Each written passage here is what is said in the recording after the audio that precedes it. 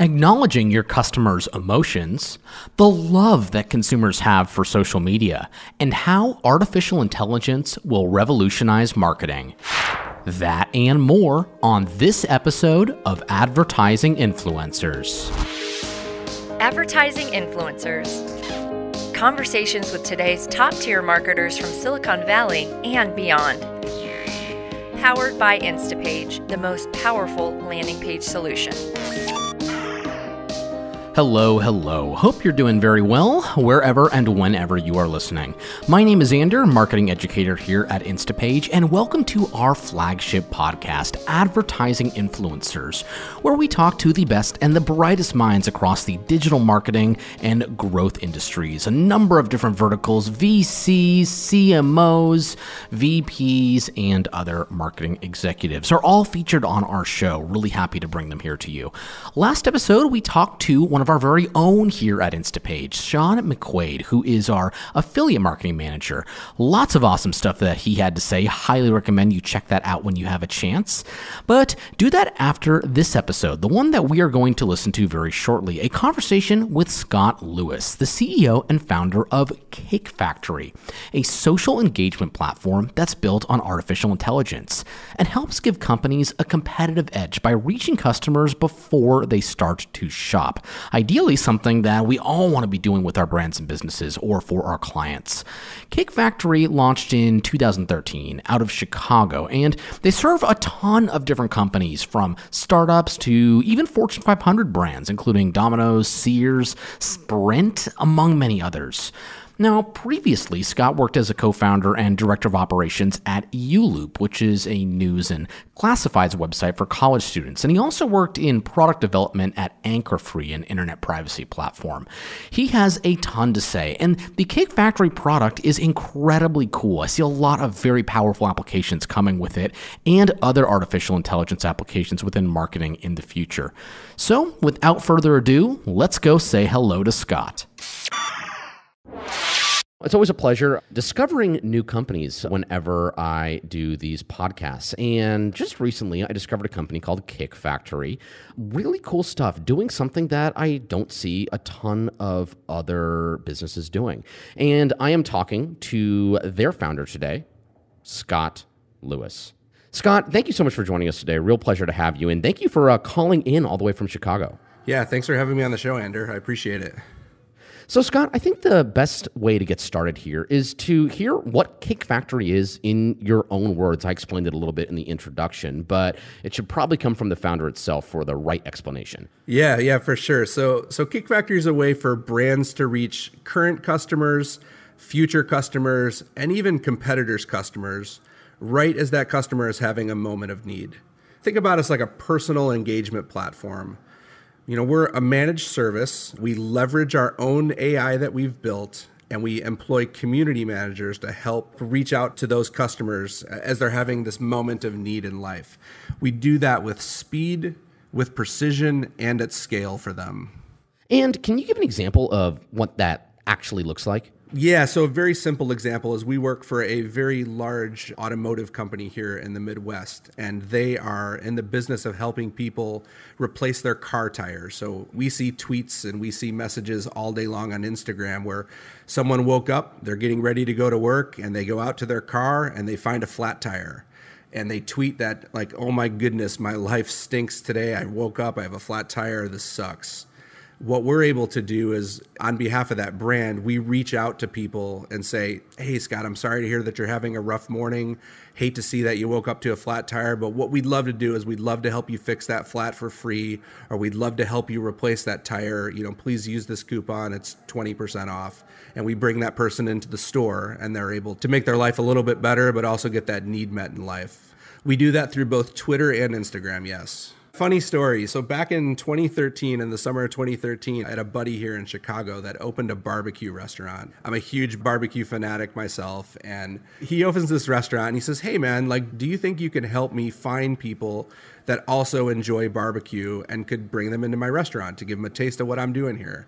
We said, "Nah, sure, maybe. You know, like let us let's kind of poke around and take a look." And it was you know, we were just kind of goofing around. We had a friend who had a need and, you know, we thought maybe we could help. And so what we found is, is we went out on Twitter, we went out on Facebook and we were looking for people who were checking in at, you know, barbecue like restaurants. We were looking for people who were talking about dishes that, you know, dishes at other restaurants that were that were barbecue inspired or my favorite was the guy who said, "I wish I had barbecue in my belly right now." And Don't we all? Yeah. So we presented this to our friend and we were like, hey, man, there are some local people here who, you know, we think you could connect with. So have fun. And he said, Well, it only works for me if you make the engagement and you actually give them a coupon. It's not enough to listen. You have to both listen and engage.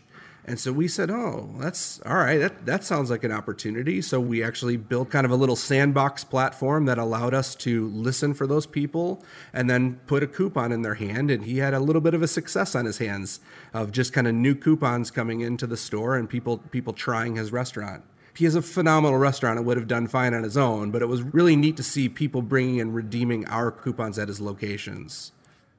Yeah, I totally understand that. And really, it sounds, I mean, to summarize what you're doing, it's really about matching the moment of need. Is that correct? That's correct. We are looking for people that are expressing needs and desires and reaching out to them right as it's happening. That is really awesome. In fact, in the first episode of this podcast, uh, when we interviewed uh, the founder of Instapage and CEO here, Tyson Quick, we actually talked a little bit about that and how that's going to become the future of marketing. So, really cool to see you guys doing this. Now, when you started Kick Factory, when you had this conversation with your barbecue friend, what was your marketing philosophy at that time? And how has that changed since you've been at Kick Factory? Our philosophy at the time was, huh, I wonder if this will work. and it really what it's changed to is we are seeing a shift in social media right now, a shift on the internet, really, where people are sharing their lives. Their social media is providing this outlet for sharing a stream of consciousness about myself and you know what we like to kind of call micro events that are happening in life. And our philosophy today is really marketing is done right when a brand is able to provide value add to a consumer, not just kind of carpet bomb them with a message that is, you know, hey, come and buy our product, but really where it's, I understand that you like barbecue, or I understand that you've had a flat tire and you just want your life put back together. We want to help you fix that. So we believe good marketing is best when it's personalized, when it's timely in its reply, when it's contextually relevant, and quite frankly, when it's ROI positive for the business, you know, every consumer knows a business is in business to make money. When all of those things line up, it's a good marketing practice, and so that's what we strive for with our with our customers. And how has your marketing philosophy like really changed since you've been at Kick Factory? What are some of the things that you've realized that you really weren't aware of when you started this project? Yeah, so Twitter, for example, we did not know how much of a micro moments people are sharing about themselves. Things that you know, we all make fun of and say oh it's you know it's the food porn and you know the things that people are sharing that way. But it's really the mundane things of life of i don't know what to choose for lunch. I had this flat tire on my car. It's time for me to upgrade my phone. What which one should i choose? And it's created this gap where brands need to be stepping in and reaching those people. So you know what we've learned is that you know, really it's emotion that is causing a person to post on social media. Again, it's a micro moment in life. And it's always an emotion first, facts second. You always know when it's a news article because the facts come first. But it's these emotions that people are expressing that brands are able to connect with people through.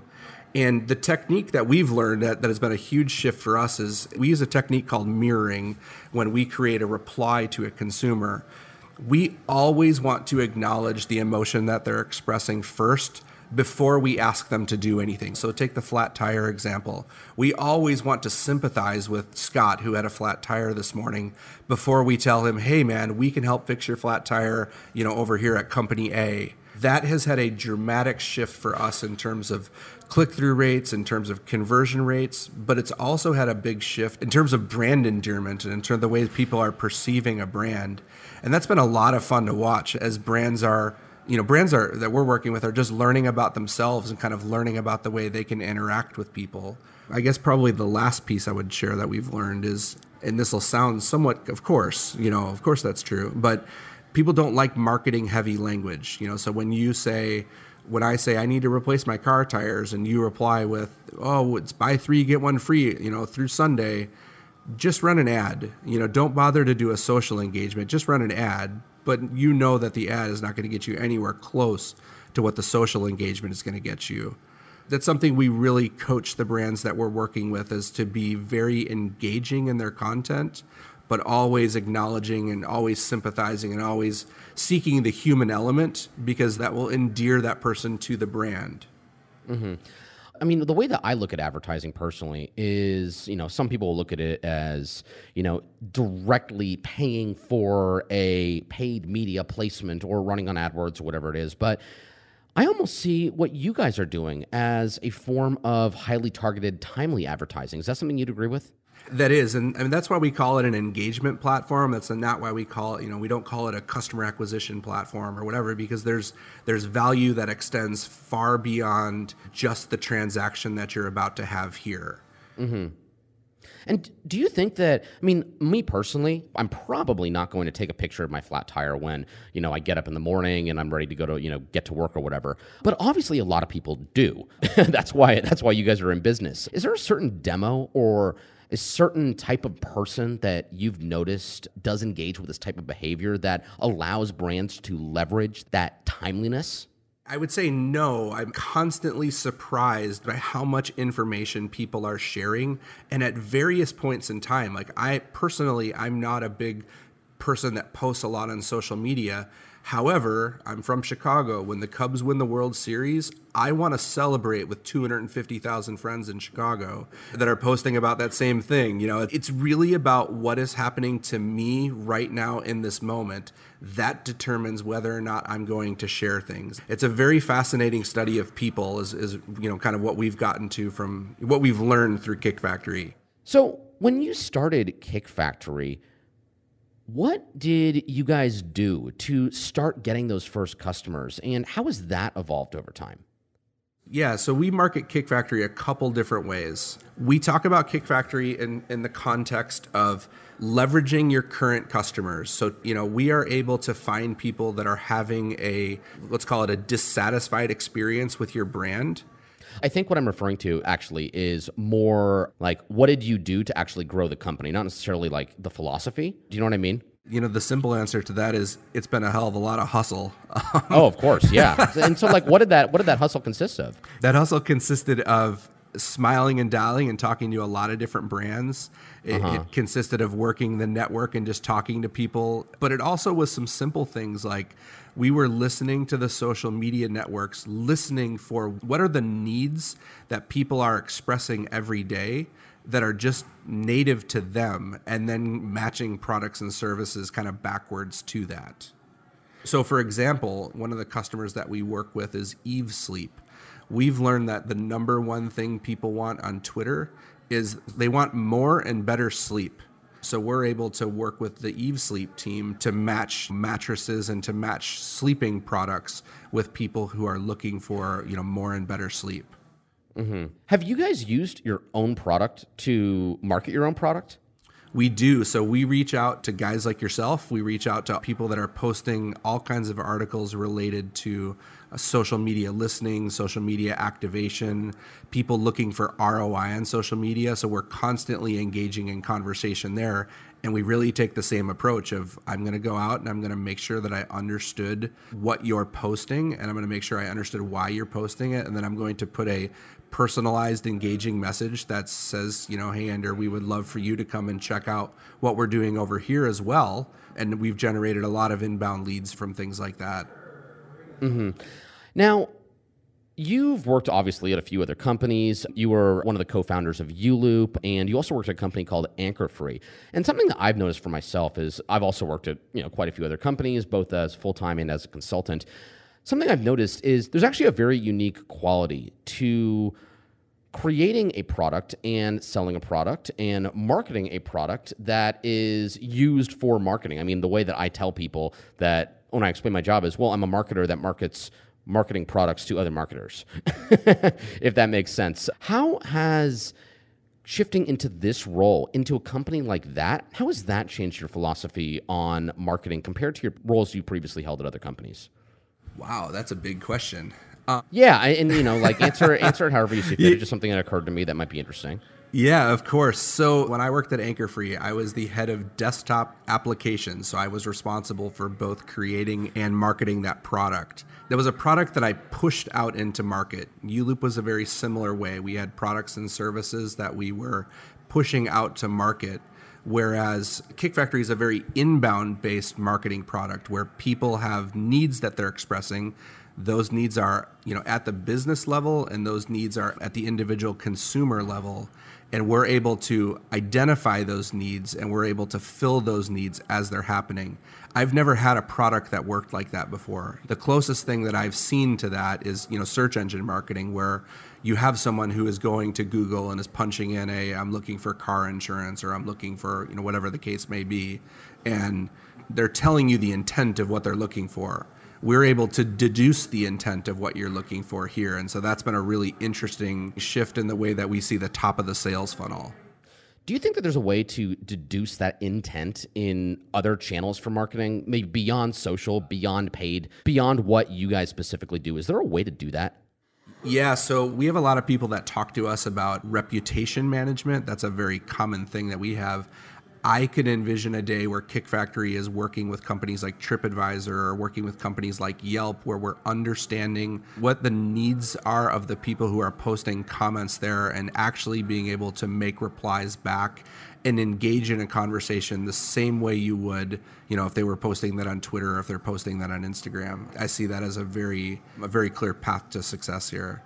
What about something like email marketing or even something like cold calling? You know, if someone has a cold calling organization, is there a way that you can envision that people might be able to deduce what you referred to?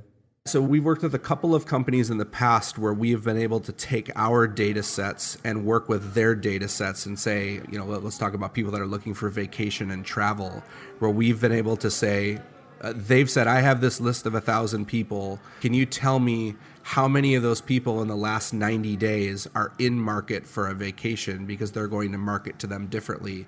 Certainly, that's already happening. You then get the multi channel approach to marketing where you can set up a Kick Factory message. They can begin to, you know, in their own systems, text and email or, you know, whatever channels they're using internally. But you get that very tight list of people that have expressed needs over a given amount of time and then because you know one of the major components to kick factory that that is an asset to us is we know the end to end market of a consumer. We know the best way to reach out to them because you know our ai has has been able to see interactions like these before. So certainly that's an opportunity and i would imagine that more and more companies that we work with are going to get savvier and want to integrate us into their own marketing because it will just sharpen their own internal marketing channels. Speaking of artificial intelligence, how have you seen AI come into marketing? What are some of your observations about how it's making its way into more marketing technologies? Yeah, so everything in marketing, at least everything that I'm reading in marketing, is about personalization. And there is, you know, let's take Twitter for example. There are, you know, billions of tweets that are going on every day that is there's so much information there that you you could get drowned in the information and AI is, at least in our world, AI is what's allowing us to to really take the 10 million tweets that we might look at today and sift those down to the right, you know, tens of thousands of tweets that are are worthy of engaging on behalf of the brands we're working with. But to be able to do that, you know, again, in kind of that personalized manner that's contextually appropriate, that's conversationally appropriate, and, and that allows you to do it in a timely manner that makes it relevant for the person who's receiving it, you know, to where it's going to feel like it's a conversation being started and not just a blast marketing, you know, that is that got my name right in the first, you know, first line of the email. Mm-hmm. To what degree do you think that companies and other marketers are underutilizing artificial intelligence? Is there a, a gap in the amount of people who are using it to the power they could be? I'm wondering this, you know, across all channels, like whether it's something that is more lead generation focused or something that might be even focused on retention or something like that. Right. So I think that there aren't enough tool sets today that are allowing people to kind of stretch their legs in terms of AI. I think that Kick Factory has kind of a niche portion of AI where we've learned, you know, we've learned that AI enables us to find the right people to talk to and to determine the best way to talk to them and to determine the best landing experience to send them to. That's a sliver of what AI can bring to the marketing world. I think once you start to get into like the broader uses of it, it's an eyedropper in the ocean at this point. I think AI will dominate the marketing landscape over the next 10 years because it's it's going to make things the segmentation is going to be much higher the predictability at which people will do something will be much higher as well as the costs are going to be far cheaper because you're only you know you're only paying for what you use and that will be you know that, that's a marketer's dream yeah lowering your cost of customer acquisition absolutely when you step back from kick factory when you step back from the specific way that you're utilizing artificial intelligence with your product and helping your customers, where do you think marketing is headed? What do you think the future of marketing is at kind of a high level? Yeah, that's that's a great question and a very broad question. Sure, that's why I ask it. so, kind of the obvious things that we're seeing is that people are becoming more and more connected online. They're living their lives in front of their screen and they're looking for ways to make that more and more seamless to be able to share more information into the cloud while having to do less, you know, to kind of make that happen. We think that the brands that are going to excel, you know, kind of in this next generation of marketing are going to be the ones that understand this shift and move towards this personalized engagement approach rather than we've seen kind of the example of you know you watch dancing with the stars and that's a show that has a massive audience. But when you think about what's happening is every time dancing with the stars goes to commercial break everybody picks up their phone and is immediately engaging on social media about what's happening on dancing with the stars the brands that are going to be the ones that are the winners here are going to be the ones that understand that they need to deliver content both uh, in a lot of different formats and also engage those people who are engaging online because that's where they're congregating. You have to go to where the people are at, and that is on social media today. And it's going to be on a lot of different forms of social media. But in the end, you know, I think really in the end, it's going to be a, the shift will be it's got to be local, it's got to be personalized, it's got to be contextually relevant, and it has to happen now. And you can't have the messaging goof ups, you know, that we're seeing today with AI because it's still so new, it's still so it's in the baby steps of the world right now. As those technologies get honed over time, I think we're going to see better and better engagement opportunities whether you want to call those conversation starters, whether you want to call those, you know, kind of lead opportunities. But it's going to be not just that. You're going to see news outlets, you know, that are their writers are engaging people around stories that would be relevant to them to make sure people are discovering the content around the net that they should be seen. I think there's some massive, massive opportunities there for all kinds of brands to, to reach people in kind of in this what's becoming a new marketing world awesome. And I totally agree. And a lot of that syncs up with a lot of the content that I create here at Instapage. You know, a lot of the conversations in this podcast, our webinars, and stuff like that. In that marketing personalization is getting more increasingly important. And uh, I certainly think that artificial intelligence is going to play a role there. Scott, it has been a pleasure talking. Love what you're working on, love your philosophies and what Kick Factory is doing. So, I want to take the opportunity to uh, thank you once again for taking the time to come on our show here. Yeah, thank you. I really appreciate you having me on the program, Andrew awesome conversation that we just had right there with Scott Lewis, CEO and founder of Kick Factory. And as you'll find with every episode, including this one, the show notes and a transcript are available on our website at instapage.com slash podcast. Lots of other resources there as well. Be thrilled for you to check them out. And also, I'd be thrilled to hear from you. So if you'd like to get in touch to continue the conversation that we're having here with Scott, or suggest a future guest, or ask me any questions, question you want, really. My email address here at Instapage is ander at instapage.com. That's A N D E R at instapage.com. Next episode, we're talking to a guy that I had not seen in ages until we sat down to record the interview. His name is Jordan Crawford, and he is the CEO and co founder of Scout, a company that is revolutionizing something that was typically only an analog acquisition and awareness channel postcard marketing. He's bringing all the benefits of digital advertising, targeting, tracking, and everything else within the digital main to this previously analog channel. So, really excited to see you here for that episode. It's going to be a really good one. All right, my fellow marketers, I am out for now. My name is Ander, and this is Advertising Influencers, powered by Instapage. Cheers to your future success, and cheers to better marketing. I will talk to you soon. Advertising Influencers. Conversations with today's top tier marketers from Silicon Valley and beyond. Powered by Instapage, the most powerful landing page solution